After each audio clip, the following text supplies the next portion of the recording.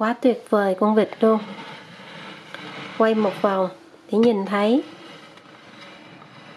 Đây là món vịt nhồi và mang nướng hay là quay? Và bây giờ quay qua. Và mình chờ nguội mình sẽ cắt ra. Màu đẹp chưa? Và Giáng sinh đang về thì thường là trong các cái bữa tiệc Giáng sinh người Đức vẫn hay ăn vịt quay. Và hôm nay mình khuyên chia sẻ đến anh chị em và các bạn một món vịt quay theo kiểu khác tức là vịt nhồi và mình mang đi quay. À, hôm nay mình sẽ làm con vịt này là 2 kg 2 nè. Vịt này người ta ghi là vịt non hay là vịt tơ Junger à, Enter. Bây giờ mình sẽ rửa với lại gừng với lại rượu cho sạch. Và nếu có rượu gừng hôm trước thì lấy ra rửa cũng được luôn. Và với muối với giấm nữa cho cái nó không có bị hôi. Vịt sau khi mình rửa xong trong ngoài như thế này bây giờ mình pha gia vị để ướp. Và với một con vịt 2 kg 2 thì cho vào đây 2 phần 3 teaspoon bột nêm tức là khoảng à, một muỗng cà phê. Rồi một muỗng cà phê đường luôn. Nếu như mình ăn bột ngọt thì sẽ cho 1 phần tư muỗng cà phê bột ngọt cho tiêu.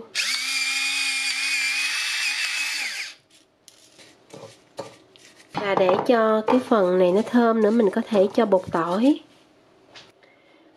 1 phần 2 teaspoon bột tỏi. Nếu mình có bột hành thì cho thêm 1 phần 2 teaspoon bột hành. Còn không thì không cho cũng được. Rồi bây giờ trộn lại. Một chút xíu ở đây. 1 phần 3 mình rắc lên bên ngoài. Còn bao nhiêu mình sẽ cho bên trong nha massage cho kỹ để cho nó thấm. Quay lại bên đây luôn. Hôm trước mình khuyên chia sẻ cái con gà rút xương rồi, và con gà rút xương đó cũng có thể làm cho Giáng sinh. Và con vịt này cũng có thể làm cho Giáng sinh được luôn.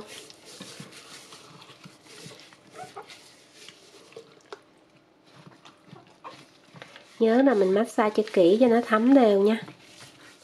Tiếp theo mình sẽ cho nước tương lên trên phần da.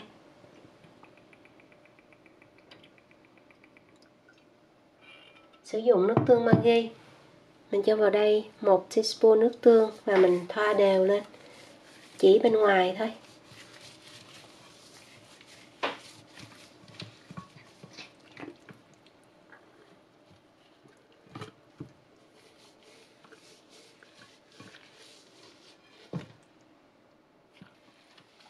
Rồi, sau đó mình ướp ở đây.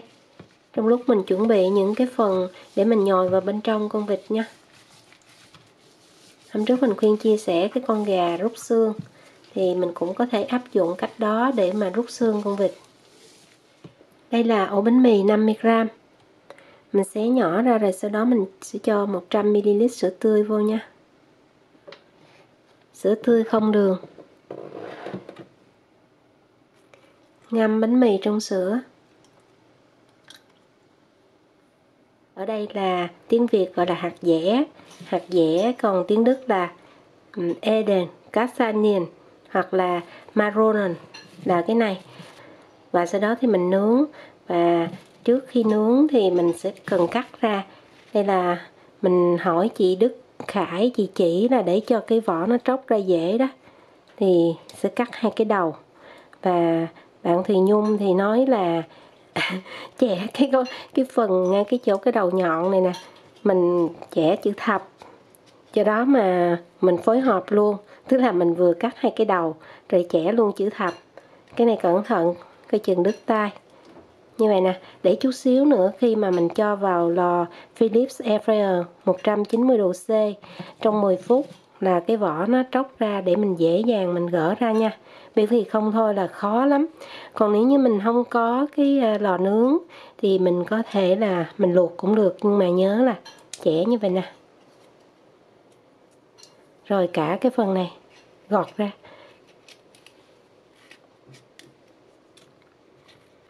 Rồi như vậy nha. Tiếp tục mình sẽ làm cho hết rồi sau đó đi nướng.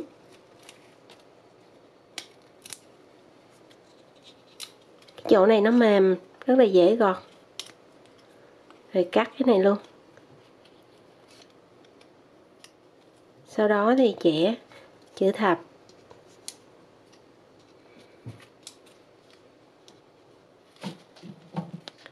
Một trăm gram củ hành tây trắng, mình sẽ cắt hạt lựu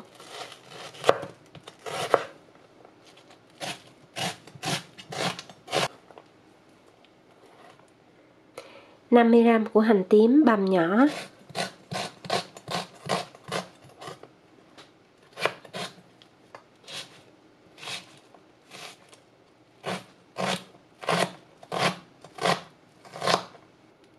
Hai gram gừng bằm nhỏ luôn.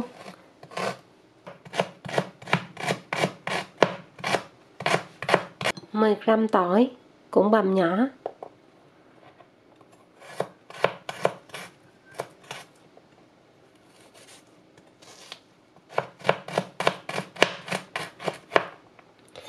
Theo là mình sẽ đi rửa nấm, rồi sau đó mình cắt nấm. Nấm mình sử dụng loại nào cũng được, mình khuyên sử dụng loại này. Loại này là cái nấm màu nâu nè. Mình lấy 150g mình đi rửa sạch. Và sau đó thì mình sẽ cắt hạt lựu hạt lựu khoảng 5 đến 7 mm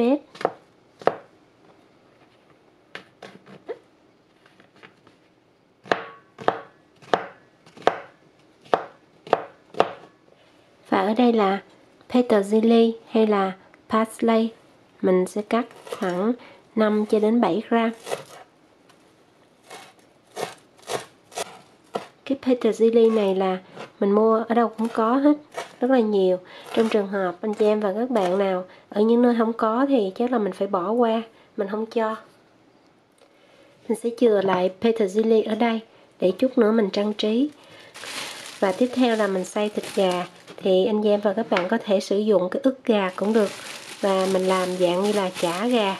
Nếu trong trường hợp mình có cái giò sống gà rồi đó, thì mình có thể sử dụng luôn. Còn không thôi thì mình sẽ sử dụng cái đùi gà hoặc là thịt ức gà để mình xay nhuyễn ra mình làm cái giò sống gà. Và hôm trước Vinh Khuyên cũng đã chia sẻ cách làm giò sống gà rồi. Nếu như anh chị em và các bạn mình có thì mình lấy ra.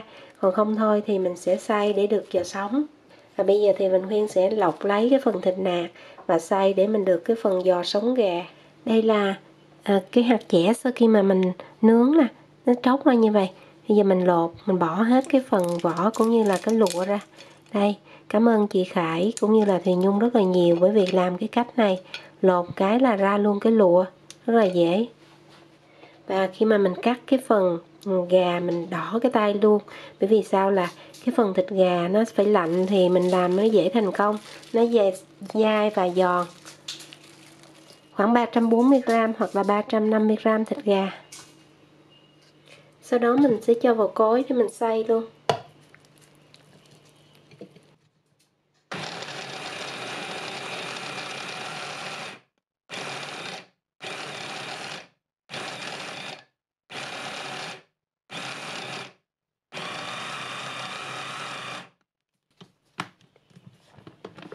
Rồi mình kiểm tra xem cái phần thịt nó có dẻo chưa. Và do là thịt lạnh như vậy mình xay nó rất là dễ dẻo. Dẻo là dẻo luôn đó.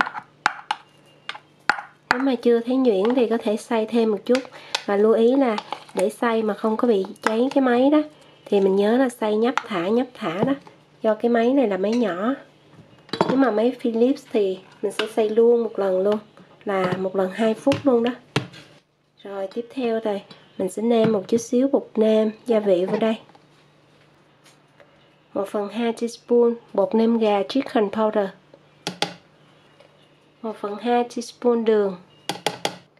1 phần tư muỗng cà phê tiêu. Mình cho tiêu trắng nha. 1 phần tư teaspoon bột tỏi.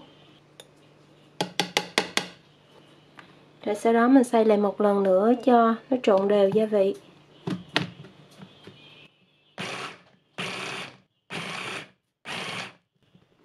Rồi, như vậy là được rồi. Mình được cái phần thịt, gà, dẻo như vậy. Thế là nó có dai luôn đó. Tiếp theo là 150g cái này gọi là thịt, dạng như là thịt sông khói. Nếu như mình có cái phần dâm bông, hay còn gọi là cốt sinh cần hay là ham đó, cũng có thể sử dụng được luôn và mình khuyên sử dụng cái thịt sông khói này mình mua ở đâu cũng có hết.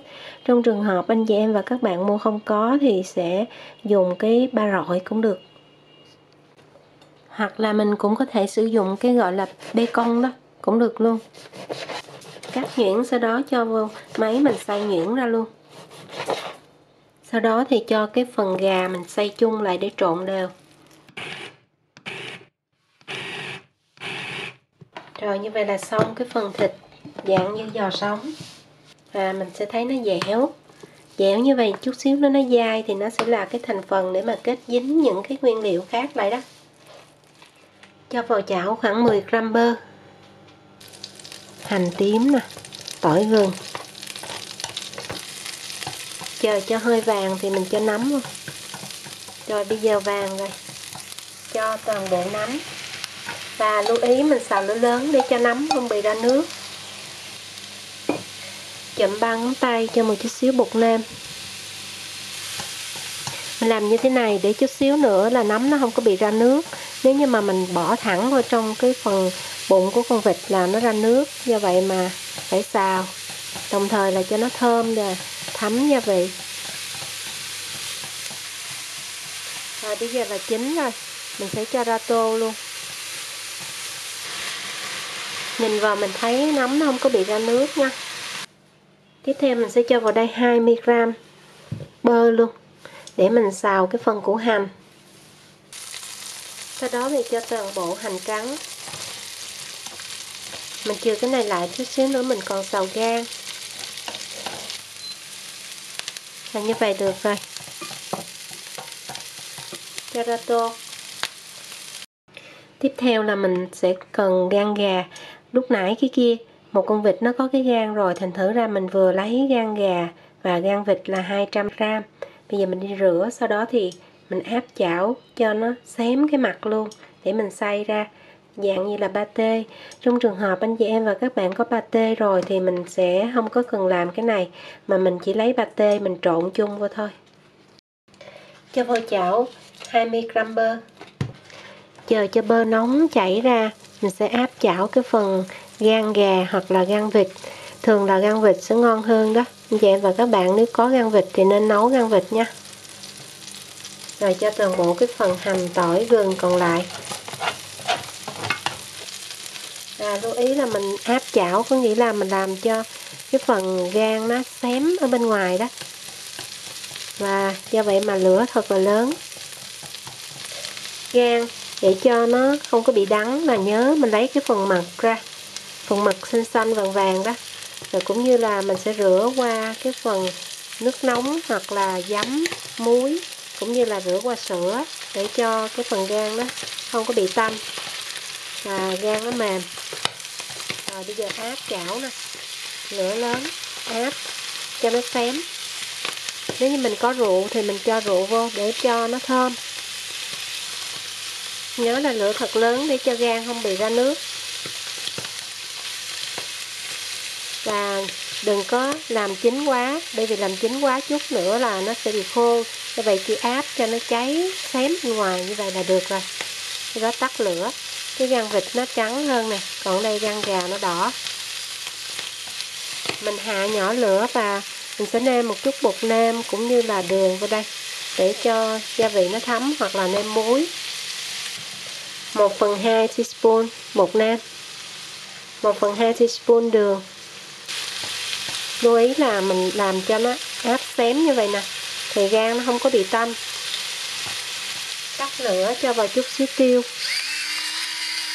Gan có thể mình cho vô máy xay cũng được, nhưng mà không cần xay. Mình bầm nhuyễn ra thôi. Để chút mình ăn đó. Nó ngon hơn là mình xay nhuyễn. Và bầm nhuyễn như vậy là được rồi mình để cho nó hơi to to vậy, chút xíu nữa khi mà mình ăn đó, nó trúng gan vô, nó rất là ngon. Tiếp theo là 100 gram cái hạt dẻ sau khi mình bỏ bỏ qua, vỏ với lại cái lụa. Bây giờ mình sẽ bầm sơ ra. Mình sẽ bầm nhuyễn bằng như là cái hạt đậu phộng, rồi sau đó mình, tất cả mình trộn chung lại, bởi vì là mọi thành phần đã xong hết rồi.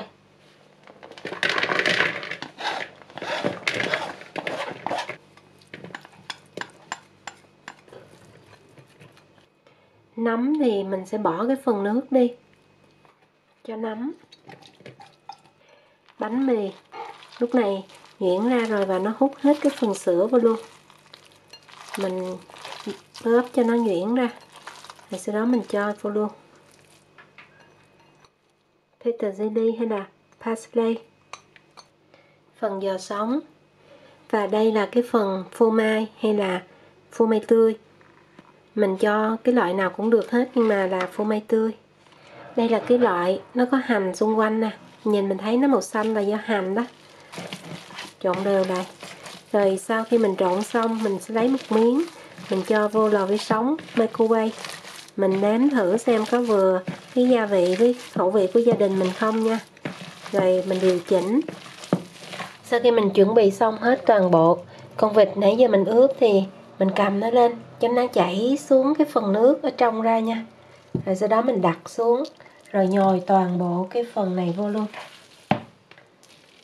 Mang bao tay, mình sẽ nhồi. Mình sẽ cho toàn bộ vô, trong bụng vịt hết nha. Nhồi hết vô, sâu vô luôn. Bởi vì phía bên đây nó cũng còn nữa đó. Nhớ đẩy sâu trong trường hợp mình muốn bỏ cái phần xương vịt cũng được thì hôm trước mình khuyên chia sẻ cái phần con gà rút xương rồi anh chị em và các bạn có thể áp dụng cho con vịt này để mình rút xương cũng được. Nhưng mà hôm nay mình không có rút xương mình để luôn như vậy. À, cứ tiếp tục mình nhồi cho hết luôn nha cho nó đầy. Và sau đó thì mình xoay về phía cái cổ mình sẽ nhồi cho nó đầy vào luôn. Đầy hết luôn cái phần cổ luôn nha. Và cái con vịt này là mình nhồi như vậy là vừa đủ luôn. Còn trong trường hợp nếu mà làm vịt rút xương thì có thể là cái phần thịt này phải nhiều hơn. Cái phần nhân á, mình nhớ là nhiều hơn nếu mà mình rút xương, bởi vì lúc đó cái phần xương mất đi. Rồi cứ tiếp tục, rồi sau đó mình sẽ may lại. Nhưng mà sử dụng cái cây này nè, để mình may cho nó tiện hơn nó nhanh. Đó, quấn lại vậy. Để cho nó không có ừ, chạy ra rồi, xong rồi. Phía ở dưới cái bụng cũng vậy luôn. Rồi phía bên dưới phô câu mình cũng may giống như vậy. Cái cây này nó bán nè, mình may dễ hơn là cái kia kim nhỏ. Nếu mà cái kim mà may chỉ, nó cực lắm. Do đó lấy cái kim này. Mình mua cái này chị em và các bạn nếu ở Đức thì mua ở tiệm Teddy. Bán chỉ có 1 đồng mà, mười mấy cây á. Nếu mà một cây không hết thì hai cây nha thêm một cây nữa. May cho kín chứ không thôi, một chút nữa là mình hấp á, cái nó nở, nó trào ra. Tiếp theo mình sẽ sử dụng cái bao này để mình cho con vịt vô. Cái đây là cái bao mà người ta cho vào trong lò nướng đó. Nó gọi là brush low hay là oven bake là chịu được nhiệt độ 200 độ C. Cái này hôm trước mình kiên cũng nướng gà cũng như là gói bánh tét rất là nhiều rồi đó. À, bây giờ mình lấy vừa cái con vịt sau đó mình cho nó vô rồi mình cột lại mình sẽ đi hấp. Sau đó thì mình cột hai đầu lại rồi mình mang đi hấp. Mình sẽ dùng một sợi dây mình cột lại cho cái cánh nó nằm yên để vì chút nữa mình hấp là cái cánh nó dễ bung ra lắm. Và nồi nước mình nấu cho nó sôi lên và sau đó thì cho con vịt vô hấp nè. Rồi sau khi nước sôi, mình để lên một cái vỉ nha. Rồi mình cho con vịt vô nè. Và với con vịt to như vậy nè, thì mình phải hấp trong vòng 80 phút, tức là một tiếng 20 phút. Và nhớ đậy nắp lại. Bước tiếp theo mình sẽ pha hỗn hợp để quét lên da vịt khi mà mình nướng. Và đây là 20 gram bơ cho vào đây một muỗng canh vuông. Đầy đầy mật ong, tức là khoảng 10 ml hoặc là 12 ml khoảng nửa muỗng canh nước tương hoặc là một teaspoon. 6 đến 7 ml sau đó thì mình cho vào lò vi sóng microwave làm cho nó chảy ra. Sau khi mình hấp đủ thời gian mình sẽ nghiêng để cho cái phần nước sốt nó chảy ra tô. Để chút nữa mình làm nước à, chấm. Còn vịt thì mình sẽ cho vô nướng. Đây giờ nóng quá, nó ra khá là nhiều nước. Và nặng, rất là nặng luôn. Bởi vì con vịt thì nó hai kg hai rồi cộng với phần ngân vô nữa. Quá trời mỡ luôn. Nó khoảng, chắc một chén mỡ quá sau đó thì mở lò lên 180 độ C, mình làm nóng lò và vịt mình sẽ đặt lên cái vỉ, rồi sau đó mình cho vào trong một cái khay nướng hoặc cái gì đó. Mình khuyên sử dụng cái nồi này cho nó đỡ có văng, để cho mình không có phải à, rửa lò nặng. Bởi vì quay thì rất là thích, nhưng mà cực sợ nhất là lau lò. Rồi bây giờ mình sẽ quét cái phần mật ong với lại nước tương, hỗn hợp lúc nãy mình pha đó. Mình quét lên xong rồi mình đợi cho lò nóng mình cho vô nướng nha quét bên trên, bên dưới luôn. Và mình sẽ dùng giấy nhôm, mình che những cái phần nào mà nó nhỏ nhỏ, nó dễ cháy như cái cánh nè, cái đùi, cũng như là ở trên đây. Che lại, để không thôi nó cháy. Nhiệt độ 180 độ C và có quạt. Lưu ý là có quạt thì nhiệt độ nó sẽ cao nóng hơn là cái không quạt. Do vậy nếu như mình để không quạt thì mình sẽ chỉnh lửa trên, lửa dưới thì mình phải để 200 200 độ C tức là khoảng 400 độ F, còn 180 độ C là khoảng 360 độ F. Sau khi mình nướng 35 phút ở 180 độ C tức là 360 độ F, thì mình mở cái giấy nhôm ra và bây giờ mình nâng lên 200 độ C và mình che cái chỗ nào mà nó vàng trước thì che lại không thôi nó cháy. Và mình cứ tiếp tục nướng cho đến vàng. Với là 200 độ C tức là khoảng 400 độ F hoặc là 390 độ F. Và sau khi mình nướng 15 phút ở 200 độ C, thì nhìn vào mình thấy cái màu nó đẹp rồi. Mình chuẩn bị, mình lật trở lên và mình nướng tiếp là 200 độ C 20 phút nữa cho đến khi nó vàng luôn. Cái mặt dưới của vịt là xong. Và 180 độ C, tức là 360 độ F trong 35 phút. Rồi sau đó 200 độ C 15 phút. Rồi mình trở lại, mình lại nướng tiếp 200 độ C 15 phút thì mình được con vịt đây. Màu hấp dẫn ghê chưa? À, bây giờ thì sẽ phải chờ một chút xíu cho nó nguội rồi mình mới lấy ra cắt được nha. Bây giờ mình sẽ cho petersilie hay là rosemary xung quanh trang trí. Thì sau đó mình chờ nguội mình sẽ cắt ra nha. Anh chị em và các bạn nhìn thấy con vịt có ngon không ạ? À? đây là vịt nhồi và quay đó. Quay một vòng để nhìn thấy đây. Tuyệt vời chưa?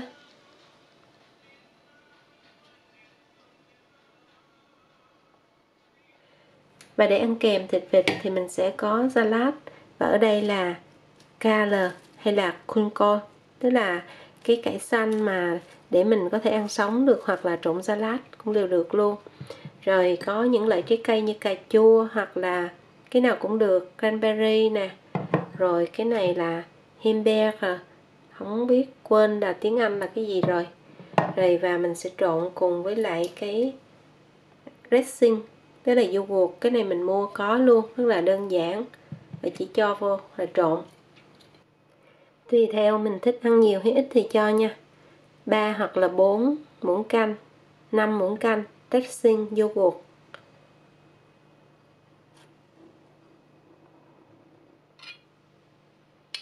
cái dressing yoghurt này, ở đây là người ta bán rất là dễ tìm và dễ mua nhưng mà nếu như anh chị em và các bạn ở những nơi không có thì hôm nay mình khuyên chia sẻ cách làm.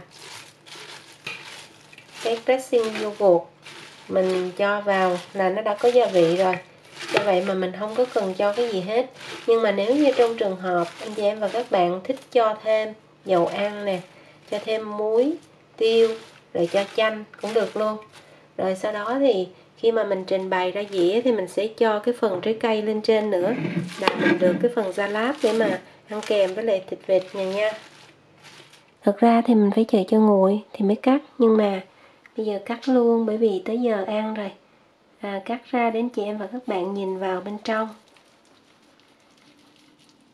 Đấy. Ngon chưa? Đây là cái cổ đó. Lúc nãy mình nhồi với đó. Mình sẽ cắt dày dày một chút xíu nha khoảng 1,5 hoặc là 1,2 cm Đấy. cắt qua để qua một bên. Rồi cắt thêm ở đây để nhìn thấy rõ hơn nè. Để đây gần nha.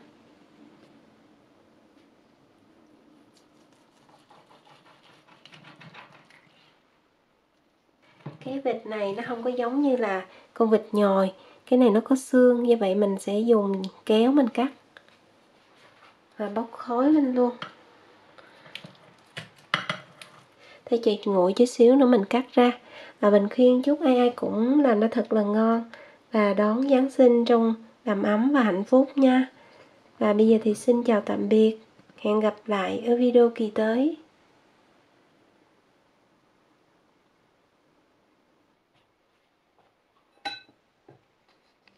Và khi ăn thì mình sẽ ăn cùng với lại sốt mayonnaise và salad, ăn cùng với bánh mì. Hoặc là nếu như người Việt mình cũng có thể ăn cùng với cơm.